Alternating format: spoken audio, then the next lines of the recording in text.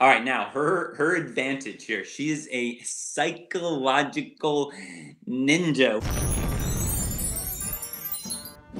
We already talked about how they grow up with their slumber parties and their communication and talking about boys and they you you better bet from when, when a girl's um is young as like I said when we're playing Halo, women are asking secrets about men. How do you get your guy to do this? How do you get guys to do this? How, remember, they're very rational about love and relationships.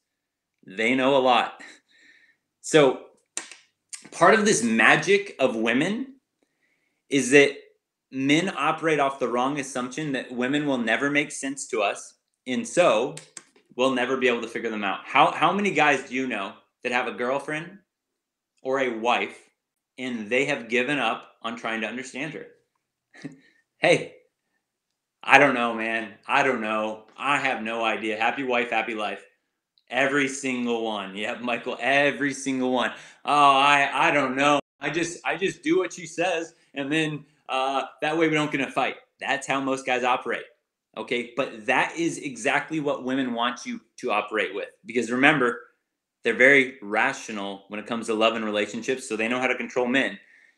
So, how nice would that be? Think about that. If you were able to say anything you want, and then you could use the oh well I'm emotional or well it's t- it's that time of the month or I'm hormonal. So you just have to whatever. Girls say that all the time. They excuse their own behavior because they can say, "Well, I'm emotional. Oh, I was caught in my emotions." All right, guys, and we believe them because we know that women operate very emotionally and feelings based with a lot of things. But you better bet she knows this game. Women, psychological ninja, absolutely. This is men. We were born with um, strength, right? We were born with being more muscular than women. Women were born with this little psychological ninja. They're able to play these psychological games, and if we don't understand it as men, uh, it can be devastating. And I'm sure you guys all know uh, guys that have been confused by women and never been the same since. Okay, so here's the number one rule. All right, here's the number one rule never believe what a woman says. Okay, you gotta understand, you gotta stick to this. Knowing what we just know, you have to stick to this or you'll be burned. Never believe what she says, always believe how she behaves. You know that whole hashtag believe all women with the whole Me Too thing? Now, every every um healthy human being that I know can agree that uh, you know, like the rape and all that stuff is horrible. That should never happen.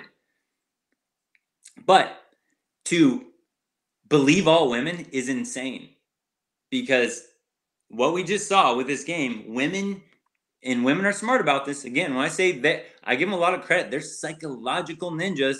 They're smart. They know how to get under your skin. They know what to say. They know how to mix up their words. They know how to try to confuse you. They know how to try to and then if you call them out you guys know this is why you don't argue with women there's no point is because even if you're winning an argument what does she do? She can go cry.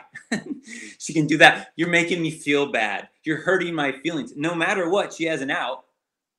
And so this is what us guys got to understand and have a thick skin a thick armor because women are much smarter and calculated calculated than we give them credit for.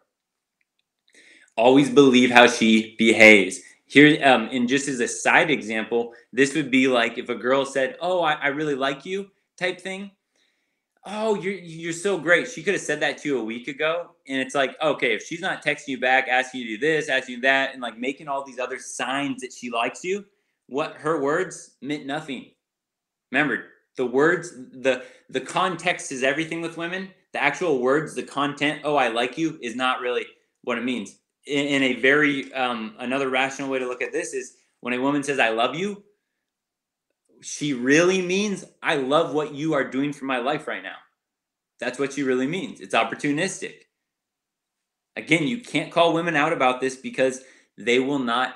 It, this is the game that women expect guys to know, and they will not explain this game to you. They will not try to help you through it. You just got to know it. All right, so here's here's another like difference. Said versus unsaid.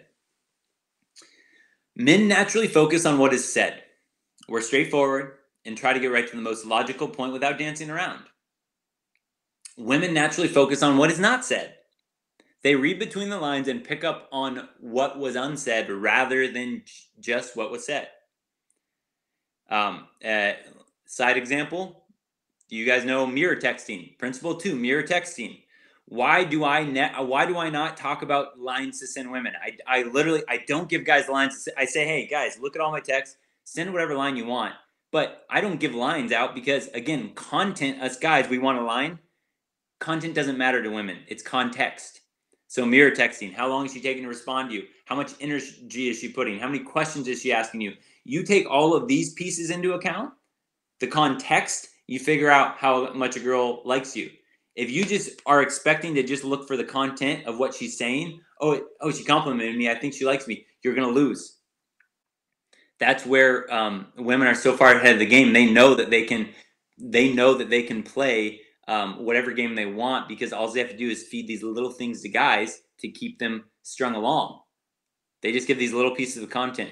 Oh, you're so great, all that, and then that guy stays in her orbit, her rotation, and now she's like, um, you know, when, she, when she's hungry for a free meal, that's a guy that she can call. She just gives this, these guys these little pieces to hang on these content. But if these guys are were taken into the whole context of how she's actually behaving, they would know she's not interested.